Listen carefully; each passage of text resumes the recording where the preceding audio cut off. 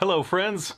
This week's video is going to be a little bit different. It's more of a personal story, but I was encouraged by my friend and client, Catherine, to tell this story. If you give me five minutes, I will share with you the five best bourbon bottles that I got on my recent tour to the Kentucky Bourbon Trail with my dad and my brother. Okay, so this first bottle is the Elijah Craig Toasted Barrel and this is made by Heaven Hill Distillery. My brother had set up a tasting there for us, and what was really interesting is we got there a little bit early for our tasting, and we walk in the front door and we notice that there's a bunch of people waiting at the counter to check out. And we then notice that behind the counter there's a bunch of bottles that are allocated for a sale that they're doing, and they do these randomly. And this Elijah Craig Toasted Barrel is one of those that were behind that counter, so my dad, my brother, and I were each able to get a bottle. This next bottle is from Maker's Mark, and it's kind of special in a few ways. So this was one of the best places for us on our trip. It was such a beautiful distillery, and we had a really good time. We took a little bit more time at this distillery and had a couple drinks. It was actually on the Derby race day, so we had our first, I had my first mint julep, and it was actually really good. So what's special about this, this is the 2019 RC6 uh, from Maker's Mark, and we were able to dip, my brother and I both were able to dip our own bottles uh, I'll also throw some pictures up of that. Uh, and so that's really fun. Not only are these kind of sort of hard to find, but we were able to dip our own copies of these bottles. Next up is Angel's Envy. This was actually our first score that we had on the trip. Um, we had waited in line at Buffalo Trace and kind of struck out that first day.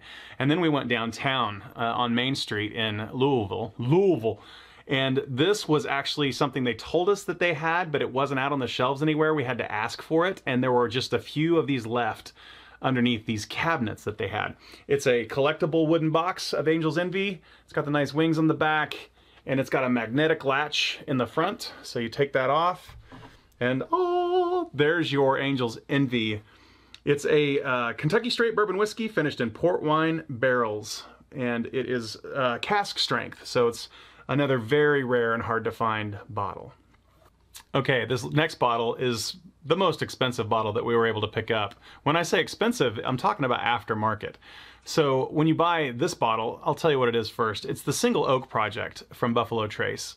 And I'll tell you a little bit about that project first. They went, they're, they're doing a, an experiment. This is a 20 year experiment where they've picked 92 trees, they cut them in half and made a, the top half was a barrel, the bottom half was a barrel, and they fill those up. So there's only 192 barrels in this project.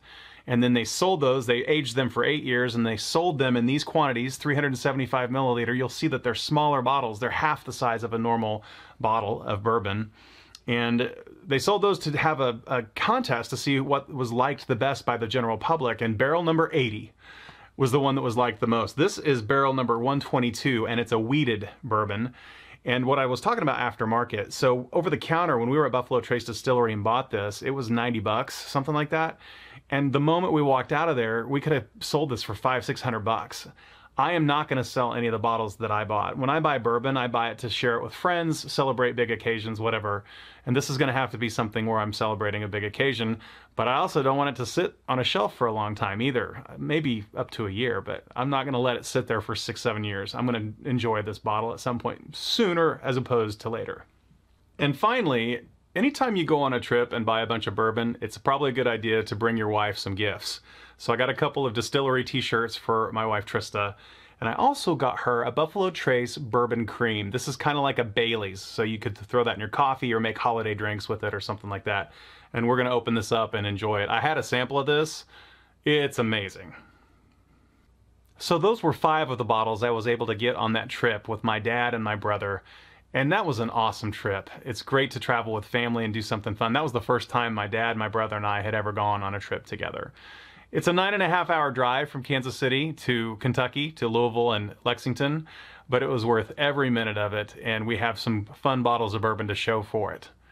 Well, I hope you're having a great week, and I hope you like this little bit of a different format of video this time. I'll see you next week.